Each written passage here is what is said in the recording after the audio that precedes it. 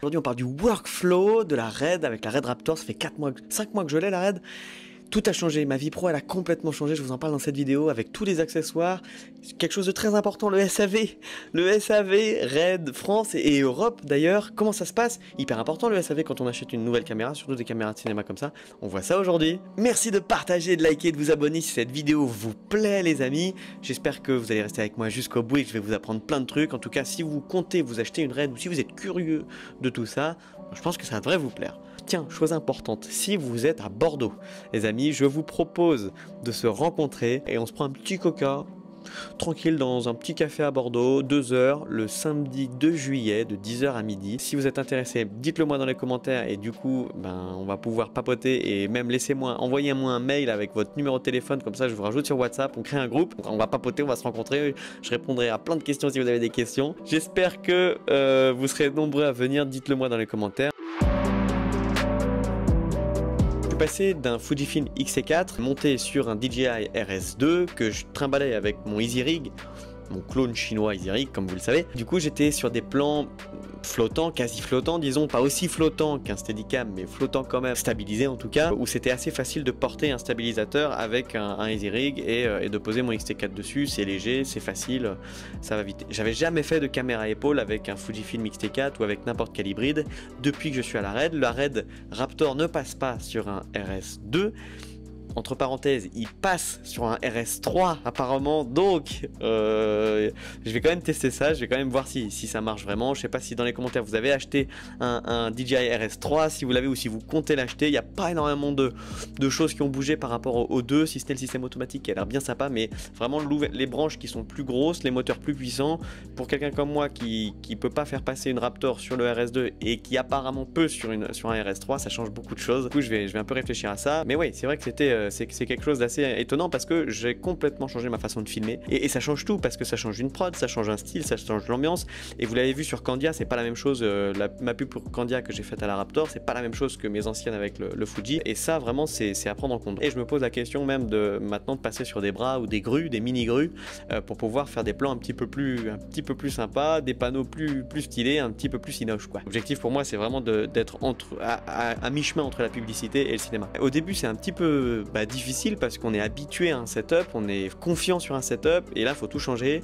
Et ben clairement en fait ça s'est fait tellement instinctivement et c'est tellement génial que euh, mais de passer sur de l'épaule avec vraiment quelque chose de organique vraiment euh, et maintenant je réfléchis à d'autres moyens pour, euh, pour voilà stabiliser des plans, de la Raptor comme je vous l'ai dit. On, verra ça parler des accessoires. Hein. Ces accessoires, avant de parler de voir le rig épaule un peu, je vais vous le présenter parce qu'il y a des gros gros changements. Quelque chose d'important, où est-ce que je l'ai mis? La poignée de chez Red, ok elle coûte cher, parce qu'il y a un bouton euh, record qui est ici et qui permet quand on fait du main levée, de pas aller chercher avec la deuxième main les boutons rec qui se situent devant ou derrière. Il y a trois boutons rec avec celui-là, donc il y a deux boutons rec sur la caméra et un en plus avec la, avec la poignée. Et ça, c'est très pratique. 650 euros pour un bouton rec, c'est cher parce que d'autres poignées, vous pouvez trouver des poignées à, 150-200 euros.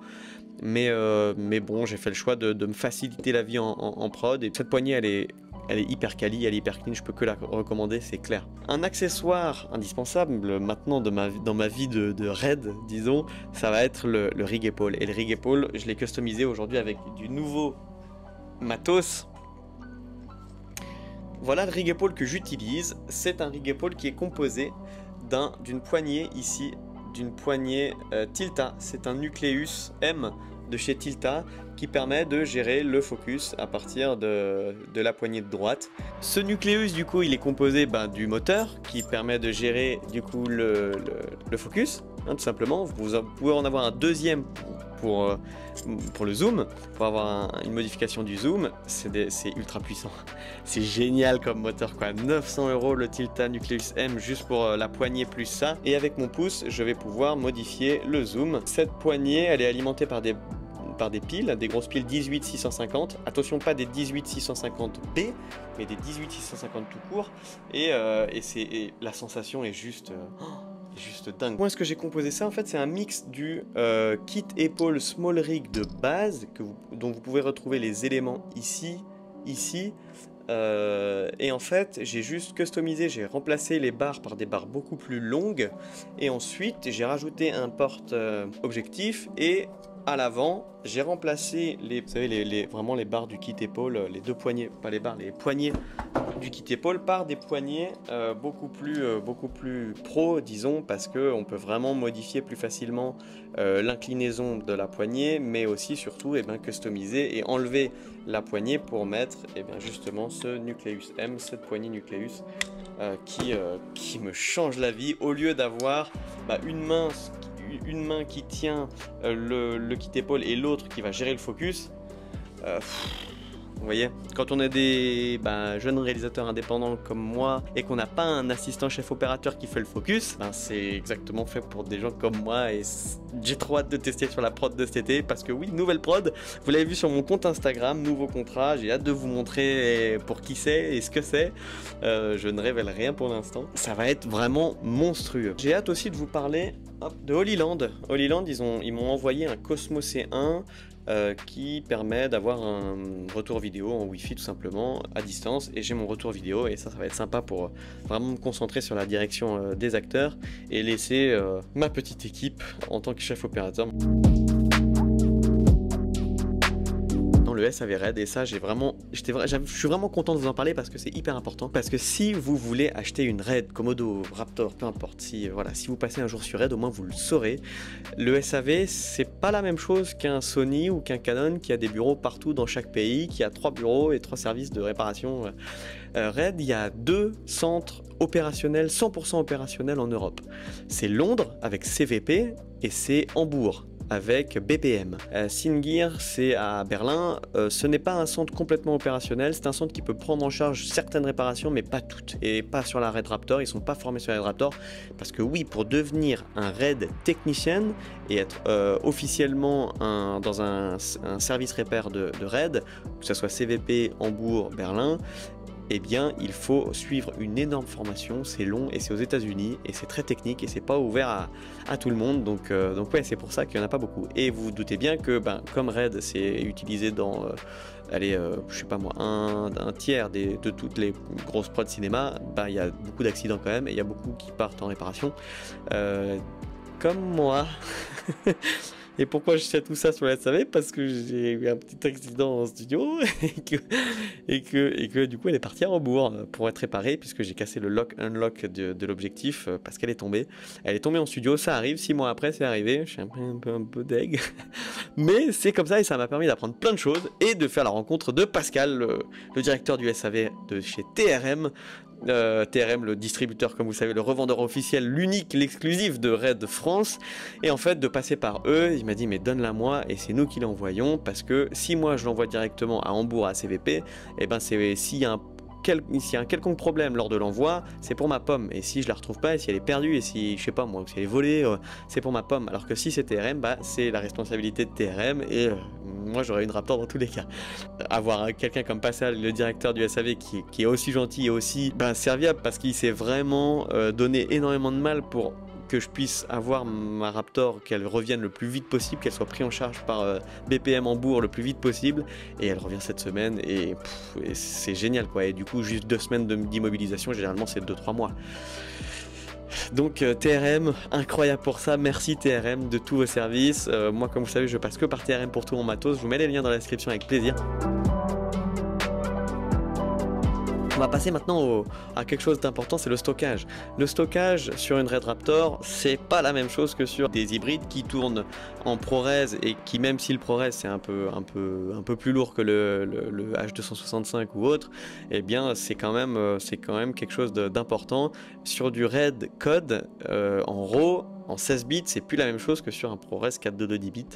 Et le stockage, comme vous l'avez vu dans ma précédente vidéo, bah, c'est vraiment à prendre en compte. Il faut vraiment pas couper les budgets, j'ai envie de dire, sur le stockage. Si on prend un exemple avec la pub de Candia, la première pub que j'ai faite à la Raptor, la première et la seule jusqu'à présent, eh ben, eh ben, c'était 14 jours de tournage. 14 jours de tournage, c'est 2 Tera et demi de rush.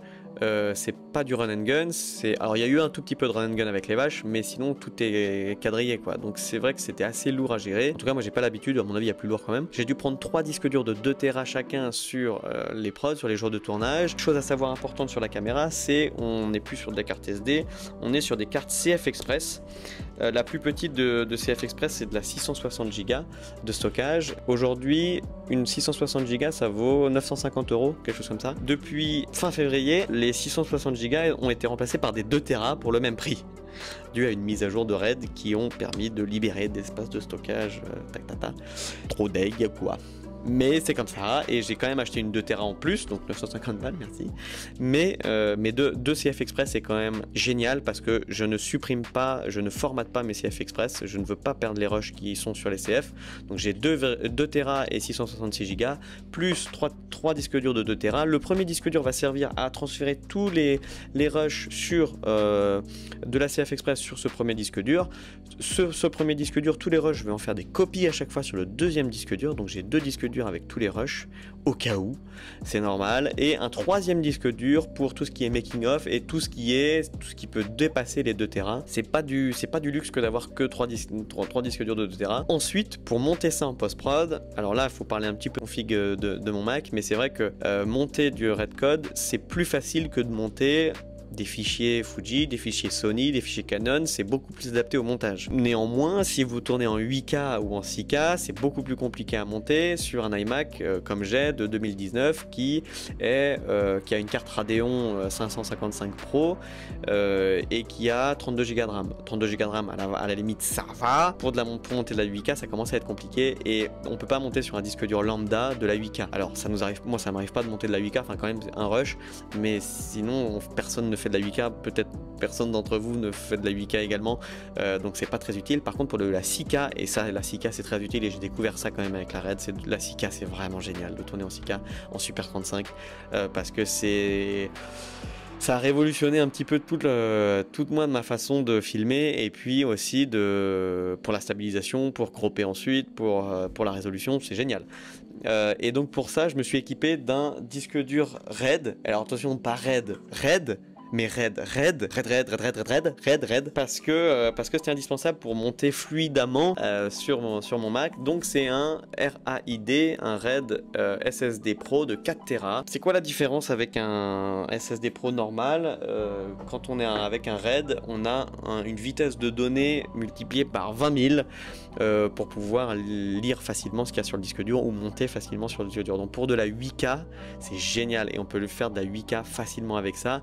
Attention, pas sur un iMac de 2019, il faut des puces plus puissantes, type euh, M1 Ultra ou d'autres puces. Monter un film publicitaire de, en 4K avec tous les effets, tous les plugins, tout ce que je rajoute, ben, j'ai aucun souci, c'est hyper fluide. Et mais ça change toute la post-prod, ça change toute votre énergie, c'est du bonheur de monter. Et s'il n'y a pas de bonheur au montage, le film, ça va être horrible. Par contre, c'est vrai qu'un disque dur comme ça, bah, c'est 2500 euros quand même, donc... Euh, faut, faut continuer de signer des, contrats, hein, parce que sinon, euh, il y aura plus qu'une vidéo toutes les deux semaines ou une vidéo par mois là durant l'été, pendant les deux mois de l'été, parce qu'on a une grosse prod qui arrive et parce que euh, ça fait du bien de se reposer un petit peu de YouTube. Mais je reviens avec du gros gros contenu, avec des superbes objectifs ciné, avec un superbe drone, avec plein de choses euh, très intéressantes, donc, j'ai hâte de vous parler. J'espère que vous serez nombreux à venir, dites-le moi dans les commentaires. Sinon, je vous dis à très bientôt dans une prochaine vidéo. Prenez soin de vous, bye bye. 再见。